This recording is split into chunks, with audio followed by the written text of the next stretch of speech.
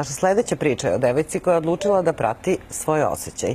Donela je odluku zbog koje će mnogi osuđivati, zbog koje će morati da trpi prekvarne poglede okoline, ali uprkos tome uh, ona je tu odluku donela. Upoznajemo vas sa 34-godišnjom rođenom Beograđankom. Ona se zove Indira Islami Jelizi. Želju da nosi hijab ima, naravno, kaže odavno, ali se na odluku odvažila tek prošle godine. Zašto? Zanimalo nas je i Indira je danas uh, moja gošća, gošća 150 minuta. Dobar dan. Dobar dan. Zašto Indira? E, znate kako, ovaj, polazi se prvo znači e, da, da pomenem islam kao religiju ovaj, i ono šta znači biti musliman. E, to znači e, osoba koja je predana stvoritelju, dakle koja se pokorava njegovim naredbama, odnosno drži se dalje od njihovih zabrana. Da se vratim na naredbu, znači jedna od naredbi ovaj, stvoritelja jeste i bilo kad je žena u pitanju da se pokrije. Tako da, ovaj, prvenstveno sam se odlučila... Ali ti si rođena kao muslimanka, je li ja tako? Ja sam rođena, naravno, da. kao muslimanka. Dakle, roditelji to nisu od tebe tražili? Nisu, nisu tražili. Ovaj, roditelji ti si to sama odlučila? Tako, roditelji uglavnom, ne samo roditelji, recimo, ovaj, kad se žena uda, pa recimo suprug ukoliko to traži od nje, on može da traži, može da savetuje, ali ne može nikad pod prisilom da natera ženu da se pokrije. Znači, žena treba da oseti to u svom srcu, da bude iskrena, da ima iskrenu nameru, ovaj, tako da... Koliko dugo si o tome razmišljala? Iskrena da budem, ja sam razmišljala o tome, pa da, da kažem, dobrih 3-4 godine, onako, ovaj, baš u kontinuitetu, pa sam imala ovaj, par momenta gde sam bila na, na jedan korak od toga da se pokrijem. Ovaj, šta, te, šta te je sprečavalo, šta te plašilo? A, ono što me je sprečavalo i što me je plašilo jeste taj neki ovaj, strah od, da, da kažem, osuđivanja, odnosno strah od nekih možda eventualno sličnih situacija koje su se i dešavale 2000. godina ovaj, kada je bilo par onako situacija u Beogradu, u centru Beograda gde su neki mladići pokušali jednoj ženi nasilno da skinu maramu, tako da Dobro, to je nešto što je meni ti se nešto loše desilo od kako nosiš uh, hijab? Mogu da kažem sve samo najbolje, znači zaista... Jer ja viđam na Vračaru recimo dosta pokrivenih žena koje su tu, nisu odavde, ali nose hijab i, i u parku naravno, i svuda i naravno, naravno, nisam nikad videla neki ovaj, incident, zato te to nije, i pitam. Nije bilo incidenata, hvala Bogu, znači mogu samo da, da kažem da sam doživjela, da, da kažem, lepe reakcije ovaj, od mojih sugrađana.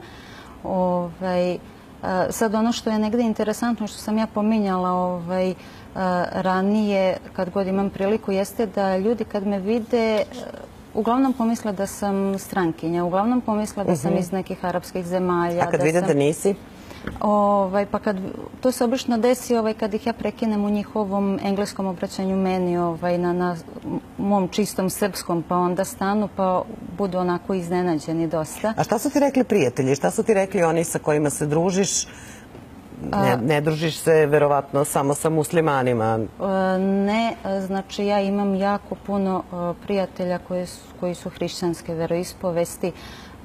Mogu slobodno da kažem, moja venčana kuma je hrišćanske veroispovesti, tako da ovaj, sa njihove strane sam imala neku podršku, ako mogu tako da... Nije neko da, prestao da, da se druži sa tobom zbog toga? Ne, Znači, mislim da je to čak ovaj, nije ni, ni jedne trunke ovaj, uticalo. A kaži mi, jesi bila negde u inostranstvu? Jesi bila u nekoj muslimanskoj zemlji gde, gde su sve žene pokrivene? Nisam imala tu priliku. Jedina, da, ako mogu da kažem, muslimanska zemlja gde sam bila jeste bio Tunis prošle godine. Ovaj, tamo nisu sve žene pokrivene. Ovaj, ima dosta pokrivenih, ali ima isto tako dosta i onih koji se što kaže, oblače sasvim ovaj, normalno, koji prate modu i to sve, tako da nisam... Udata si? Tako je. A šta tvoj suprug kaže?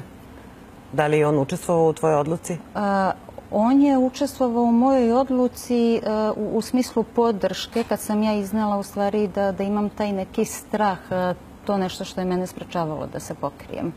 Tako da on je mene više ohrabrivao, ali nikad nije bilo da je on mene naterao. Suprug ti je takođe musliman. Tako je. A kaži mi, da li imaš čerku? Nemam. A, ako budeš imala čerku, hoćeš je savjetovati da nosi hijab? A, ono što mogu da kažem, koliko budem imala čerku, prvo od malena ću je učiti islamu kao religiji. Ovaj, savjetovaću je naravno, ali neću nikad sigurno vršiti neku vrstu pritiska i prisile. Mi živimo u e, zemlji koja e, dozvoljava velika prava i slobode ženama. Da li je ova tvoja odluka, da li je način na koji e, ti ideš obučena ulicom korak unazad? Da li si sebi uskratila slobodu time? Nisam, nisam sebi uskratila slobodu. Ovaj, ono što mogu da, sad slobodna sam da, da kažem, ovaj, Islam je ženi dao znači punu slobodu i, i pravo u smislu obrazovanja, u smislu zapošljavanja, rada. Znači ona nije ovaj, mnogi poistovećuju maramu sa onim činom da je žena Mhm. potlačena. Ali ti radiš, ne?